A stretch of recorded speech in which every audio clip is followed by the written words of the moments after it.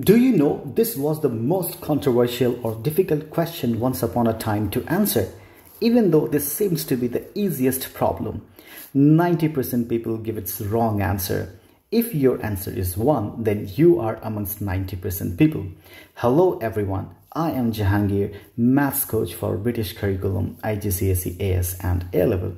If you love maths for any curriculum or you need to learn maths for IGCSE, AS and A-Level, then please subscribe this channel.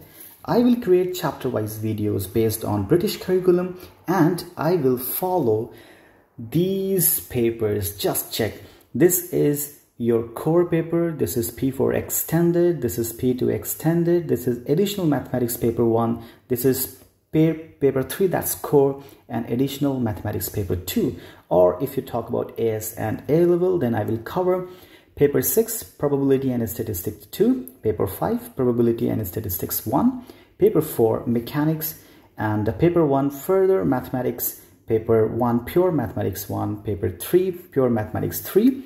And this is Further Mathematics, Further Mechanics, and Further Probability and Statistics. This is based on Cambridge curriculum. Likewise, I will cover these papers as well that is based on again British curriculum but this is a different pattern that's at Edexcel.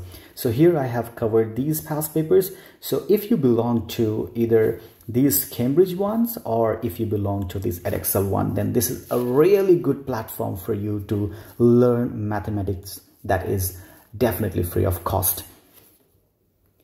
I have already made videos on the latest IGCSE AS and A-Level February-March 2023 mathematics papers and I have added videos, links and question papers in the description below.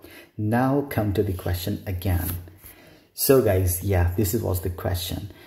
You guys, if you got as, as an answer 1, then this is wrong. Why it is wrong? We need to understand our basic concept of BODMAS it means bracket of division, multiplication, addition, and subtraction, right?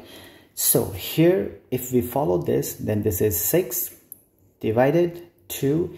Now we have to use this bracket, right? So inside your bracket, you have 1 plus 2, which is 3. So bracket, it, bracket work would be 1 plus 2, that's 3. So this is your 3 and 2 and the bracket is combined by this multiplication sign.